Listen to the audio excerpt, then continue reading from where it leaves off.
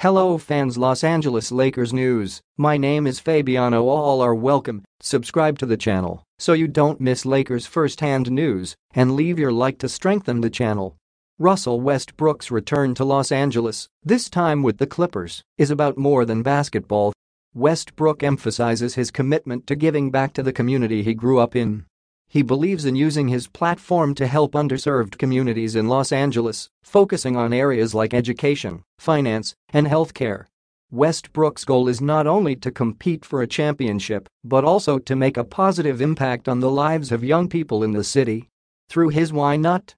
Academy and other initiatives, he aims to provide resources and opportunities for students who face challenges similar to those he experienced growing up. Leave your like on this video to keep up to date with everything that happens at Lakers thanks. Continuing. Westbrook's connection with these kids, based on shared experiences, is a vital part of his community work. While his competitive spirit drives him to pursue an NBA championship, his commitment to making a difference in Los Angeles goes beyond the basketball court. Put your opinion in the comments as it is very important for Lakers I update you at any time with the latest news from Lakers. Help the channel become a member